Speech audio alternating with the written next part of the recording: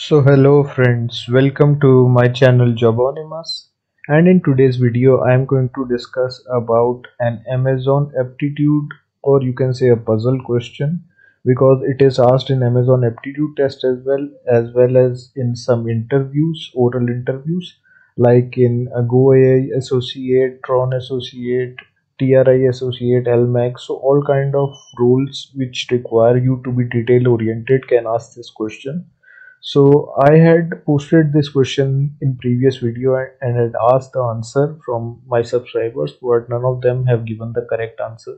So I thought to make this video. So whenever you are given such type of question where you have to count the number of squares or number of triangles. So first of all what you have to do is you have to divide the figure into number of levels. So here there are five levels 1 2 3 4 and 5 so you divide it and uh, you know enter the levels. Next you count the number of squares in each level.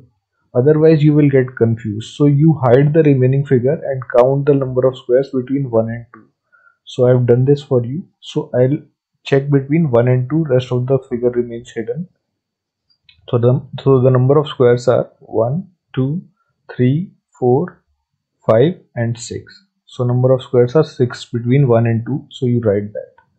Similarly between 2 and 3, 1, 2, 3, 4, 5, 6. So between level 2 and 3, 6 squares.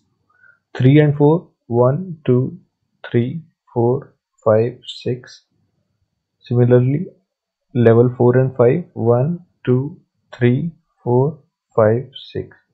So here the question does not end so you have calculated one combination one permutation 1 2 2 3 3 4 4 5 the other combination can be 1 4 2 3 sorry not 2 3 or 2 5 so 1 3 so here you have to calculate the number of squares between level 1 and level 3 so here you have to be cautious. You do not calculate these squares because we have already done them between 1 and 2 so level 1 3 means the square that starts from level 1 and end at level 3. So how many such squares are there?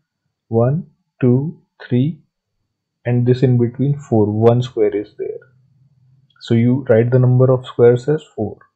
Then between 2 and 4 1, 2, 3, but here you will not count these two because uh, these two are rectangles not squares then between 3 and 5 1 2 3 4 so one such combination is done then the other one can be combination 1 4 so squares that starts from 1 and ends at 4 so how many such squares are there? 1 2 then you move ahead between 2 and 5 1 2 and finally one more combination is left 1 5 that starts from 1 and ends at 5 so only one such square is there.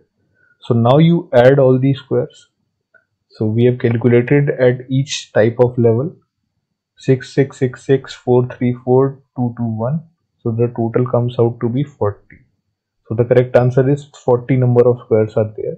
So some people have answered 24 25 56 so these are not the correct answers. Correct is 40 so if you found this video helpful please do like it. And uh, if you have any other difficulty in any type of question let me know in the comment box. I'll try to answer it. So i'll meet you in the next video. Till then bye bye